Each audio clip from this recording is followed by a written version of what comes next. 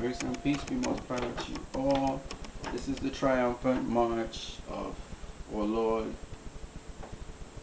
as he comes with ten thousands of his saints, just like how Israel marched out of Egypt and charged like a raging bull into Canaan. So uh, here goes the song uh, that the slaves sang in their bondage.